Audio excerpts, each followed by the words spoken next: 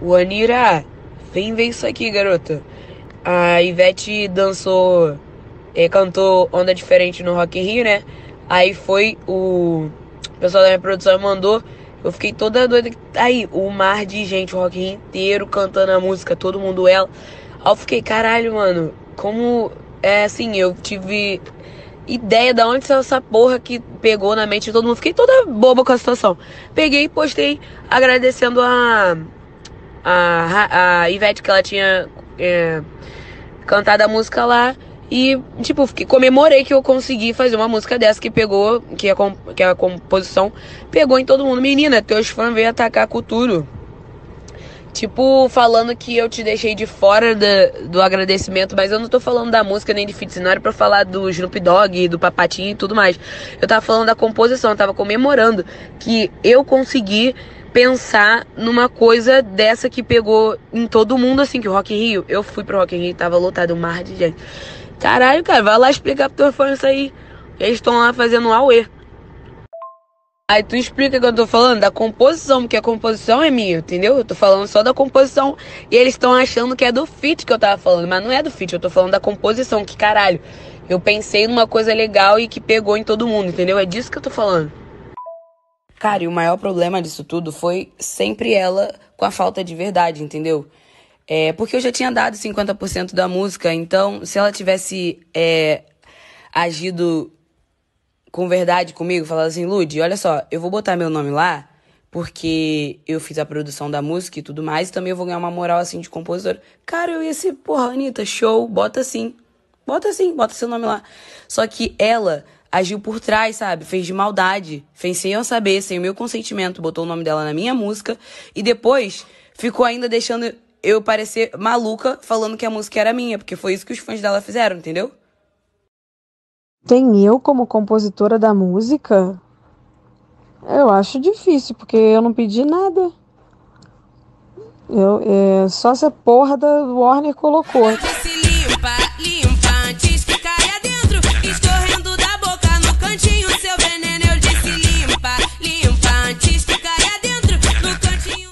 Eles não colocam um papatinho? Eu não entendi nada. Agora, sobre essa questão, o motivo pelo qual os meus fãs estão falando, não tem a ver com você, não.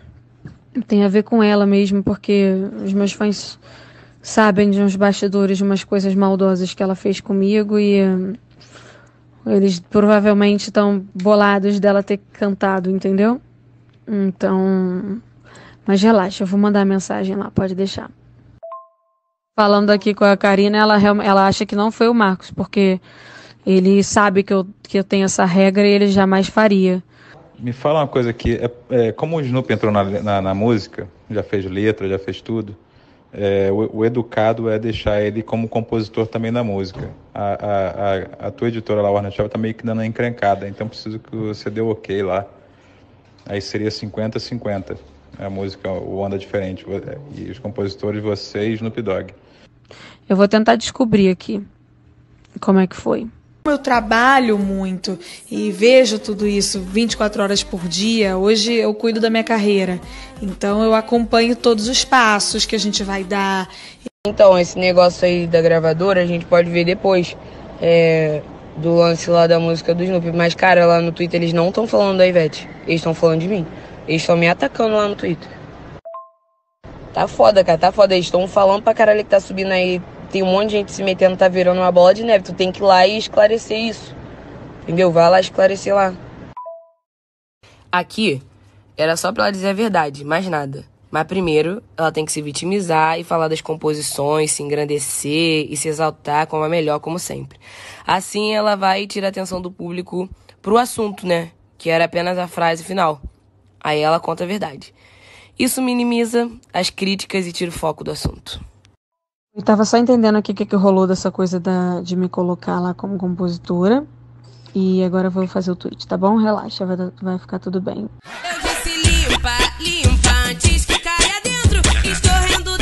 Desde sempre. É que eu não, eu não costumo twittar para não dar bafafá, mas eu tenho um grupo com os presidentes de todos os meus fã-clubes no meu WhatsApp.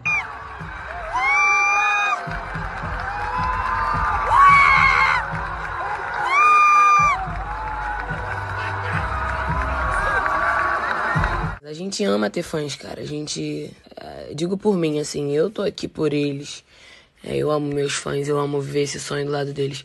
Os fãs dela me atacam diariamente. Eu tenho eles em todas as minhas postagens, é, em tudo quanto é propaganda que eu vou fazer, sempre querendo me diminuir, me desmerecer, com tudo que vocês possam imaginar. E se ela controla eles, por que ela não manda eles pararem? Inclusive, eles vivem dizendo que eu brigo sozinha. Tá aí. Eu disse limpa, limpa antes que caia dentro. Escorrendo da boca no cantinho seu veneno. Eu disse limpa, limpa antes que caia dentro. No cantinho da boca escorrendo seu veneno. Mas se a gente chegar a 100 mil em doações, eu falo. Puta, 100, 100 mil, em doações, ela fala tudo sobre a Beyoncé, a Beyoncé sobre a Ludmilla. Pegou a bailarina, deve ter sido pra imitar a Ludmilla. Ainda fica banalizando o relacionamento entre duas mulheres, sabe? Eu e Bruno, a gente luta pra caramba pra ter respeito é, das pessoas, pra ela ficar tratando a nossa relação como as dela que ela vive. Cara, cada um faz da sua vida o que quiser, mas não fica me comparando, entendeu? Quem colocou a sua música lá, no, no evento da Rihanna, foi um amigo meu. Eu falo com ele todos os dias. É sempre assim, gente, com esses joguinhos, com essas mentiras. Nesse print aqui, ela diz que não conhece o DJ. Mas pra mim, no WhatsApp, pra se mostrar mais uma vez como superior, como a fodona, ela vem e diz que foi ela que mostrou a música, que o amigo dela que é DJ. Por que, que ela não botou a música dela então, caralho? Botou a minha. Mais uma mentira dela. Porque depois eu virei amiga do DJ e soube da história toda. Ela passou a vida assim, me taxando de inferior a ela, entendeu? Teve uma época que ela me chamava de Projetinho de Alcione, era meu apelido por ela. Na, no pessoal dela, era Projetinho de Alcione, como se isso fosse uma ofensa, entendeu? Mas mal sabia ela que a Alcione é uma das minhas maiores referências. Eu sou muito fã da Alcione. Para vocês verem que ela é muito ardilosa e ela faz tudo de caso pensado, teve um dia que a gente estava gravando música boa ela falou assim: Vamos tirar uma foto? Eu fui parei do lado dela para tirar foto. Ela, não, finge que tá me enforcando, porque as pessoas ficam falando que a gente se odeia, né, pra gente brincar. Mas eu enforcando ela, entendeu? Na foto, pra eu sempre sair como errada. Mas na hora eu nem maldei. Fui e tirei a foto. Depois que vieram as críticas, eu fiquei. Mas era uma brincadeira, ela que me chamou para fazer isso, gente. Tudo sempre muito pensado. Sempre. Então, sabe, combate? Eu tava nessa música, eu cheguei até a gravar a voz. Só para deixar claro que as meninas que participaram não tem nada a ver com isso, tá? É, é tudo com ela mesmo. Mas só que eu já tava cansada de tudo isso que tava acontecendo, sabe? Essas histórias, essas mentiras, esse jeito sonso, esse cinismo, sabe? E outra, no print, olha como ela se apresenta no grupo, cara. Eu já tava cansada, cansada, cansada de engolir o tempo todo esse achismo dela. É, ela com esse ego dela o tempo inteiro. Eu eu fui ao meu limite, cara. Eu aguentei muita coisa calada pra, tipo, não ter briga, pra não ter nada. E é isso. Enfim, espero que essa seja a última vez que eu tenha que estar tá entrando nesse assunto, porque toda vez que tenho que tocar nesse nome, é, falar sobre esse assunto, falar sobre ela, me traz uma sensação muito ruim. E isso não é uma coisa que eu gosto. Não, não, faz, não faz parte do meu cotidiano, essa energia negativa. É, gente, é sério, é real. Vocês fãs dela são muito privilegiados de ter ela só de distância ali do palco e tudo. Porque se vocês tiverem um, um dia de convívio assim com a pessoa dela, vocês vão se desapontar. Como eu também, porque um dia eu já admirei ela, entendeu? Sem conhecer a pessoa. Depois que eu conheci a pessoa, foi frustrante. E mais frustrante ainda foi ter que ficar ouvindo meu empresário, ouvindo as pessoas no meio artístico assim. Aguenta, aguenta. A gente sabe quem ela é. Aguenta, não entra numa briga com ela, porque você sabe que você vai sair perdendo. Você sabe que, tipo, você já é um em um milhão ocupando esse lugar e você vai dar mole. Você vai sair perdendo, cara. Você sabe que você vai sair perdendo nessa. Então é melhor você não entrar numa briga com ela e sempre eu tendo que abaixar a cabeça, abaixar a cabeça, abaixar a cabeça. Porque eu, como mulher preta, eu sempre senti isso, que as pessoas queriam que eu ficasse no meu cantinho, sabe? Por mais que eu tivesse certa, tipo assim, se alguém pisasse no meu pé, eles queriam que eu pedisse desculpa, porque, tipo, ah, você é preta, não era nem pra você estar tá aí. Você já tá num lugar que nem era para você estar tá ocupando. E agora você ainda tá reclamando que eu pisei no seu pé, pede desculpa a você. É tipo isso, entendeu? E, cara, pra eu estar tá vindo aqui falar isso, isso tá me custando demais, gente. Vocês não têm noção.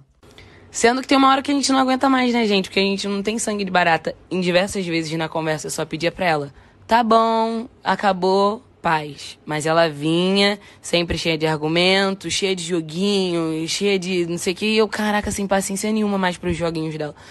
Atrás das câmeras, atrás dos holofotes, ela é uma pessoa que vocês não vão querer conhecer. E na frente ela é outra. E isso me irritava extremamente. Me irrita até hoje. Então eu espero que tenha ficado tudo esclarecido.